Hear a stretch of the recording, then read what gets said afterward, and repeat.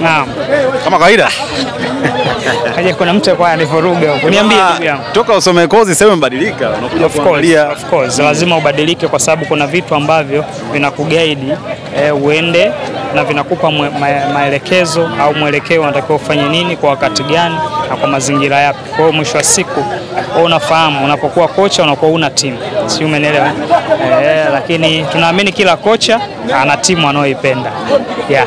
Okay, uh, sare goli moja kwa moja ilikuwa mechi ya kirafiki, mechi ya kuweza kumchangia mm. Ali Kimara. mm. Kuna tofauti ambao umeona katika klabu ya, ya Yanga amecheza na timu ya Somalia yeah. ya timu ya vijana, lakini tumeona uh, bado Yanga wameendelea na mwendo wao ule ule wa kutofungwa mchezo hata mmoja. Kwanza Amani, eh, lazima tuwapongeze Yanga kwa sababu kwanza wanatutoa eh, kwenye ule mtazamo kwamba eh, timu ya taifa inatakiwa icheze na timu ya taifa fulani, lakini sasa hivi tunaona eh, kama kuna klabu ambayo ina hadhi ya kuwa timu ya taifa, kwa nini isifanyeje? Kwa nini isipewe hiyo hadhi ya kucheza na na klabu au na timu ya taifa nyingine, kwa sababu ukitazama Yanga ina almost wachezaji wengi wa timu za taifa, si umeelewa? Tena zile timu za taifa ambazo ziko strong.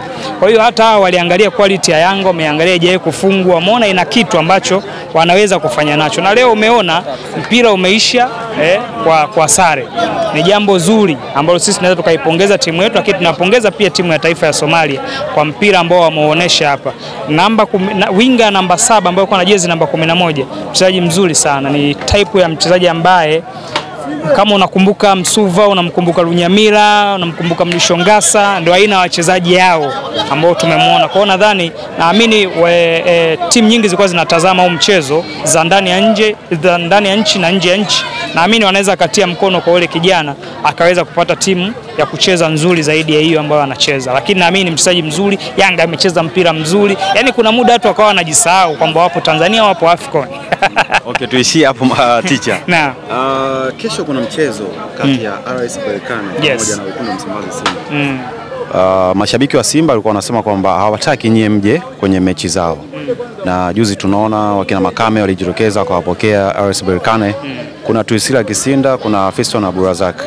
Kesho utakuja uwanjani au wewe utajeka, uh, utajeka pembeni? Ah, wame nadhani hata rais wao wa heshima aliweka wazi kwamba kama mashabiki wanaenda waende wakatazame mpira, si umeelewa eh? E, sisi ni Watanzania wote tunapaswa kuwa tuamini kwamba amani yetu ya hii nchi tunaitunza ni kwa, na mpira nao ni sehemu ya kutunza amani ya nchi. Kwa hiyo hatuna haja ya kunyoshana vidole, hatuna haja ya ku, kuanza kumtafuta mchawi ni nani. E, Simba anakwenda kucheza anatafuta e, points tatu. Kwa hiyo mtu mwingine ambaye mechi haimuhusu anatakiwa anaenda anaenda kutazama tu mpira, si umeelewa? eh?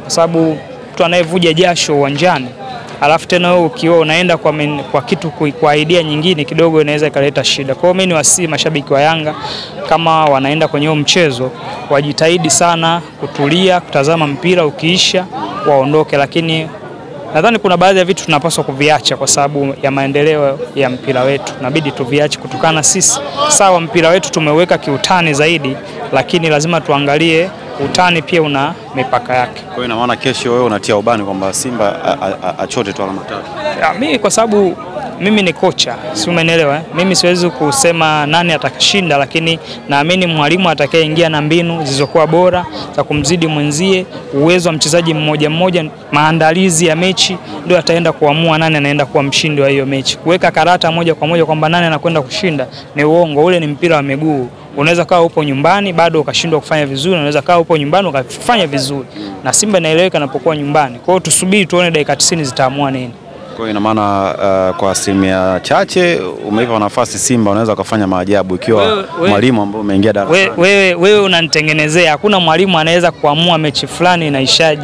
Mwalimu atakwambia eh, kwa timu iliyojiandaa itakwenda kufanya vizuri, ila utakapotazama mpira ndani ya dakika 45 za mwanzo ukasogea tena dakika- na, na dakika 45 za kipindi cha pili, unaweza walau ukaona eh, wi- within play unaweza ukajua kwamba ni nini kinaweza kikatokea, lakini kwa sasa hivi ni ngumu.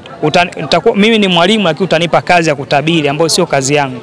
Kwa hiyo mimi siwezi kutabiri timu fulani inakwenda kushinda kesho, isipokuwa nitatazama mpira nione dakika 90 zinaishaje. Najua wewe kuna kitu nakitaka, Kwa zile, lakini kan, zile kanzu za kina Daudi zile ambazo mlivaa na Ahali hatuzioni tena, si hawa nao Waarabu.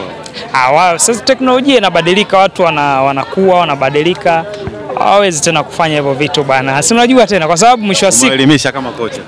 taratibu taratibu tutabadilika taratibu taratibu, sio kwa sababu mi naamini kwenye kupigania point tatu, si umeelewa? Mimi ni Yanga, najua Simba akishinda atakuja kunicheka mimi, atakuja kunizomea mimi, umeona? Na ndio hiyo tatizo inakuja kwamba wewe ukishinda unaenda kumsumbua mtu ambaye hajashiriki kwenye hiyo michuano. Sasa mwisho wa siku yule naye anaweza kawa sasa ana, ana, anaomba vitu tofauti. Kwa hiyo tukiacha hiyo, mbona itakuwa haina shida? Yaani mabadiliko yanaanza na wewe eh, wabadilike na hawa watabadilika. Mwisho wa siku mpira wetu utakuwa utafika pale unapotaka. Nakupa interview ambayo kidogo yenye akili, lazima uone kuna mabadiliko amani. Unataka tupige tu zile zile kwamba hii utatoa utoi. Ah.